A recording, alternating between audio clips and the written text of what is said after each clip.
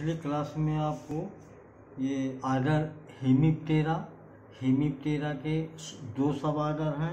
एक order Homoptera और दूसरा सब आर्डर हिट्रोप्टेरा। होमोप्टेरा आर्डर की जो एग्रीकल्चर पॉइंट आप इसे जो फैमिली है इंपॉर्टेंट है, पहली है फैमिली एपी एफिडिडेई इसमें जो है मस्टर्ड एफिड जो सरसों में माहू लगता है, वो कीट आते हैं।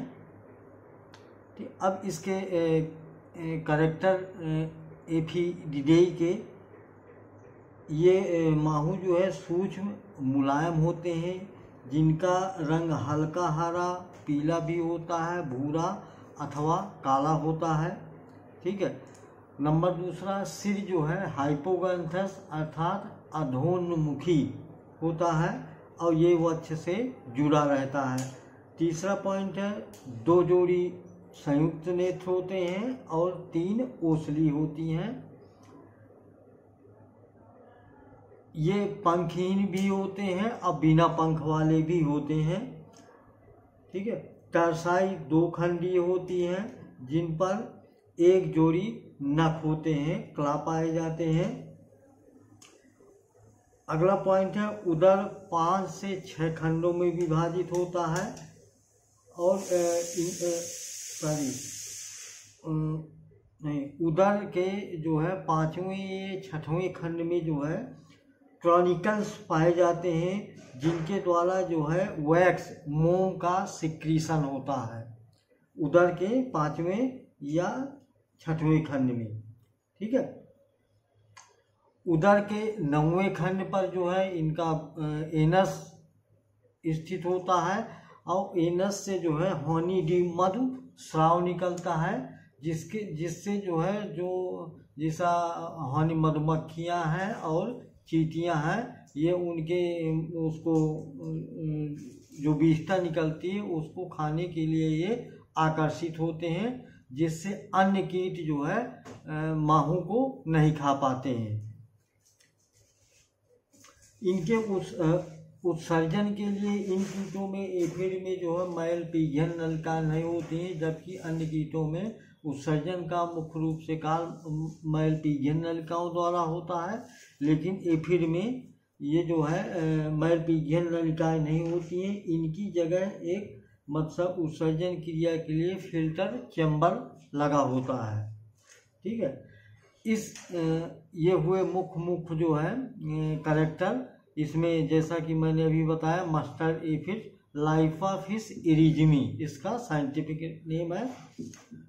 दूसरी फैमिली है ए, ए, एली यूरोडिडेई इसमें आता है सुगर केन व्हाइट फ्लाई आता गन्ना की सफ़ेद मक्खी आती है। ये पहला पॉइंट है इसके करेक्ट है। सूक्ष्म आकार के कीट होते हैं जिनकी लंबाई लगभग एक से तीन मिलीमीटर होती है। स, आ, इनकी सम इन कीटों का पूरा शरीर जो है संपूर्ण शरीर मोम से ढका रहता है। सिर सिर जो है हाइपोगैंथस अर्थात अधोन्मुखी होता है। पार्श्व सतह पर जो है दो एक जोड़ी कंपाउंड आई ये जो कंपाउंड आई इनकी जो होती हैं किडनी शेप्ड की होती हैं जैसा किडनी मनुष्यों में पाई जाती हैं, वृक्काकार होती हैं और दो ओसली होती हैं। टार्सस दो खंडी होता है, जिनके बीच में दो कला होते हैं और नीचे पैड या पलबिलाई गद्दियाँ पाई जाती हैं।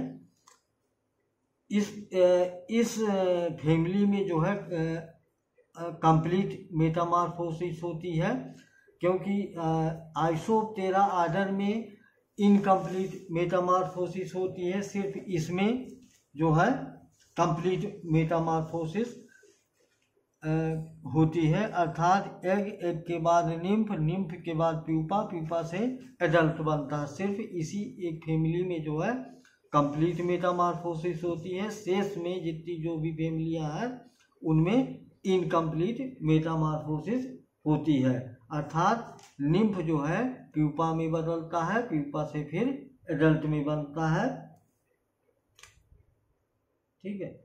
अगली फैमिली है कॉक्सी डेई इसमें आता है मैंगो मिलीबग हिंदी में कहते हैं आम का फटका ड्रोसिचा मैंगी फिरेई ये साइंटिफिक नेम है। अब आइए करेक्टर में। मैंगो मिलीबग ये जो है कीट पौधों में ये झुंड के रूप में दिखाई देते हैं। ये छोटे होते हैं, अंडाकार होते हैं, कोमल तथा मोम से ढके रहते हैं। एंटनी सात से आठ खंडों में विभाजित रहती है और जो टाइप्स इसकी होल्ड मतलब चक्राकार एंटनी पाई जाती है इसमें। ठीक है? इनका जो लेबियम होता है इनका लेबियम को रोस्टम कहते हैं जो चोंच के रूप में रूपांतरित रहता है। लेबियम क्या है? पार्ट्स ऑफ़ माउथ पार्ट्स है भाग है। आ, मादा पंख रहित होती है, गोलाकार या चपटी होती है, ठीक है? जबकि मेल जो है, पंखधारी भी होते हैं, पंखहीन भी होते हैं, ठीक है? लेग्स छोटे होते हैं और टार्सस एक खंडों में विभाजित होता है।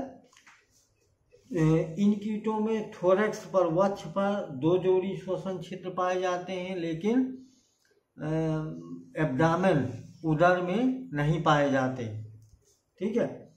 मेल के जो नर होता है, उसमें माउथ पास नहीं होते हैं और ये कोई हानि नहीं पहुंचाता है। सिर्फ़ जो है, जो फीमेल होती है, वो हानि पहुंचाती है। इसमें आता है मैंगो मिलीबग तीसरी फैमिली है, सीका डी, लिडेई अथवा जैसी डेई। इसमें तीन कीट आते हैं। मैंगो लीफा पर आता है, पैदी लीफा पर आता है काटन जैसे ये कपास में लगता है। ठीक है? ये कीट सूक्ष्म और बेलनाकार आकृति में होती है। एंटनी जो पाई जाती है, सीटेसियस, सूखा सूकाकार पाई जाती हैं और आठ खंडी होती हैं। सिर चौड़ा होता है और त्रिभुजाकार होता है। कंपाउंड आई संयुक्त नेत्र बड़े होते हैं और दो उपनेत्र पाए जाते हैं। अगली जोड़ी पंख रंगीन तथा चमकीले एवं पिछली जोड़ी पंख जो है झिल्लीदार होते हैं। ठीक है, उदाहरण जैसे मैंने अभी आपको बताया, मैंगो लीफा पर, पैडी लीफा पर और काटन जैसिड अगली फैमिली है, लोफोपिडेई। इसमें ये भी गन्ने में लगता है शुगर केन लीफाफल इसको कहते हैं पायरीला के नाम से है। ठीक है? पहला मोस्ट इंपॉर्टेंट